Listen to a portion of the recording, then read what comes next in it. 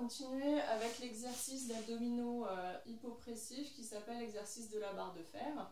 Euh, cet exercice, ça va être un exercice un petit peu plus difficile parce que ça va être un exercice en charge, c'est-à-dire qu'on va être en charge du poids de corps euh, en position quadrupédique, c'est-à-dire en position à quatre pattes.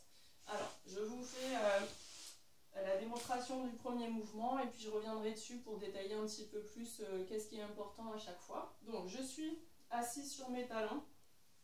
Je vais mettre mes doigts au niveau du creux de la hanche. Je vais en profiter pour commencer déjà à me positionner en position d'autograndissement. Je vérifie le bas du dos bien droit, je fixe mes omoplates en bas et en dedans, je rentre le menton, je pousse la tête loin des fesses et je suis en autograndissement. Je souffle.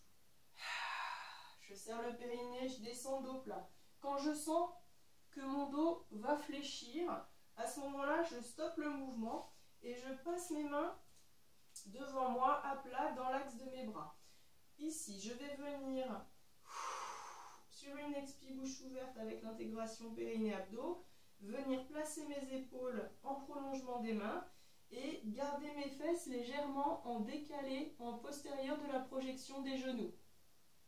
Dans cette position, on va toujours vouloir garder l'autograndissement. Donc je suis avec mon double menton, j'ai mes omoplates recentrées, j'essaie d'avoir mon dos le plus droit possible, je pousse la tête loin des fesses et je vais avoir envie aussi, en même temps que je veux éloigner les insertions en postérieur de mon tronc, donc la tête pousse loin de mes fesses, vouloir ramener en dedans en position antérieure de mon tronc. C'est-à-dire que je vais vouloir ramener mes mains vers mes genoux pour majorer l'intégration du travail des abdominaux. Donc je pose ma main, je souffle.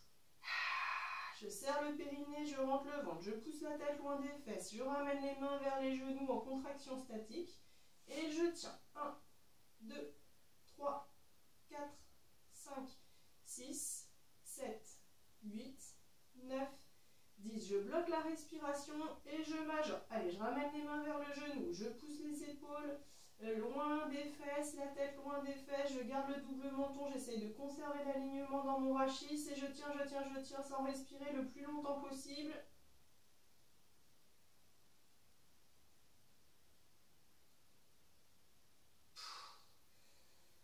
Je relâche et je souffle. Alors méfiez-vous effectivement si vous êtes sur un tapis, quand vous ramenez, ça peut faire une petite bosse, donc c'est pas l'idéal. Allez-y euh, allez-y tranquillement en faisant une résistance suffisamment forte mais qui ne vous décale pas tout votre placement. Alors cet exercice-là, on l'a fait sur 10 secondes. Pour l'instant, on est en charge, c'est pas trop contraignant. Alors, si les gens euh, ont des difficultés au niveau des poignets, parce que là vous notez qu'il y a le poids du corps euh, qui repose en partie sur les poignets, n'hésitez pas à échauffer un petit peu vos poignets, à étirer les avant-bras, et à préparer un petit peu les articulations pour que ce soit un petit peu moins euh, difficile. Pour la suite, on va essayer de faire une évolution sur 40 secondes. Donc 40 secondes de travail, euh, on passe de 10 à 40 parce qu'on va travailler en asymétrique. Donc on va essayer de faire 10 secondes en position, comme on vient de voir, en position quadrupédique, donc avec les 4 membres au sol. On va voir une autre série de 10 secondes où nous n'aurons plus que deux membres au sol, c'est-à-dire un bras et une jambe, bien sûr en opposition, sinon, euh, ça marche pas, hein pas de blague. La, troisième euh, série de 10, eh ben, on prendra le contre-pied. Si on a fait euh, main gauche, jambe droite, on fait main droite, jambe gauche, comme ceci. Et la dernière série de 10, ce sera de nouveau avec les quatre membres au sol et ensuite on, refera l'apnée. Donc on va essayer de le faire à vitesse réelle ensemble. Euh, l'objectif n'est pas d'avoir un alignement parfait des bras et des jambes avec le tronc. L'objectif premier, c'est déjà d'arriver à garder le tronc aligné. Une fois qu'on arrive à garder le tronc aligné, on peut essayer d'aligner le bras et la jambe, mais c'est très difficile. Non seulement parce que quand vous remontez l'épaule, vous allez avoir une espèce de torsion dans le rachis thoracique, mais aussi parce que quand vous remontez la jambe, vous allez avoir la fesse qui remonte et le bassin qui peut tourner. Donc méfiez-vous, nous, l'objectif premier, c'est l'autograndissement, donc l'alignement du rachis, c'est pas l'alignement des bras des jambes. Ensuite, il faut arriver à serrer le périnée et à conserver cette contraction pendant les 40 secondes, mais aussi pendant l'apnée, le travail des abdos, Et à la fin, on refait la fausse inspi avec l'apnée. Donc, je m'assois sur mes talons, main sur les hanches, épaules en arrière, double menton. J'ai déjà initié la contraction de mon périnée. Je souffle. Je descends. Mon dos va vouloir fléchir. Je mets les mains devant. Je viens passer en appui, épaule en projection euh, de mes mains. Je souffle. Je serre le périnée, je rentre le ventre. Je pousse la tête loin des fesses, j'ai mon dos bien droit et je me grandis en ramenant les mains vers les genoux. 1, 2, 3, 4, 5, 6, 7, 8, 9, 10. Je stabilise la position de mon dos. Je souffle. Je serre le périnée et je lève un bras, une jambe en conservant le dos droit. 1, 2, 3, 4, 5, 6, 7, 8, 9, 10. Je reviens en position, je, revalide la position dos plat et je fais l'autre position en diagonale. Je souffle, je reverrouille. 1, 2, 3, 4, 5, 6, 7, 8, 9, 10. Je reviens en position base et là je tiens de nouveau pour 10. Je serre bien les mains vers les genoux, je pousse la tête, je rentre le menton, je fixe les omoplates et j'avale le ventre. 1, 2, 3, 4, 5, 6, 7, 8, 9, 10. Je bloque la respi et je majore. Les mains vers les genoux, le double menton. Je pousse la tête loin des fesses, j'ai mon dos bien droit, j'avale le ventre et je tiens. Je tiens, je tiens, je tiens en majorant tous les paramètres en apnée.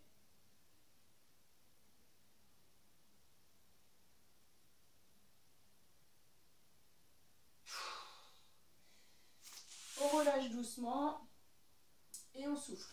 Alors, on pourrait rajouter des évolutions à cet exercice. Euh, donc vous avez vu qu'on est passé de 10 secondes de travail à 40 secondes de travail. Si c'est trop difficile le travail asymétrique sur 10 secondes, vous pouvez faire 10 secondes avec euh, les quatre membres au sol, 5 secondes seulement de mise en place en asymétrie avec la posture diagonale, un bras, une jambe en opposition, 5 secondes euh, bah, dans l'autre position diagonale, et de nouveau 10 secondes avec les quatre membres, ce qui vous fait un travail uniquement sur 30 secondes, un petit peu plus facile au départ. Si toutefois c'est facile, donc les 40 secondes, 4 pattes, 2 pattes, 2 pattes, 4 pattes. À ce moment-là, on peut rajouter des difficultés, c'est-à-dire que vous pouvez euh, faire pendant les oppositions, donc là je me mets rapidement en position euh, euh, dos plat avec une diagonale, je peux rajouter des petits mouvements circulaires au niveau des bras, des jambes, ou des petits mouvements dynamiques dans, dans la mesure où je ne me tortille pas dans tous les sens, d'accord? Je fixe mon rachis et je peux ramener en position dynamique bah, pour une dizaine de fois par exemple, ou alors je rajoute des poids. Donc je prends un poids lesté dans ma main, j'accroche un poids euh, bracelet scratché au niveau de ma cheville et là je tiens et je suis en renforcement pur. Donc voilà, on peut également faire cette position sur euh, un grand, un grand euh, comment dire, euh, une grosse surface molle, un tapis beaucoup plus mou ou qui va pouvoir déstabiliser de façon beaucoup plus globale et devoir être beaucoup plus vigilant sur la posture avec la contraction des muscles profonds. Voilà pour l'exercice de la barre de fer. Derrière, si vous voulez, vous pouvez continuer avec l'exercice du guetteur qui sera un petit peu plus exigeante ou aussi l'exercice des abdos hypopressifs en position assis. D'ailleurs, voilà.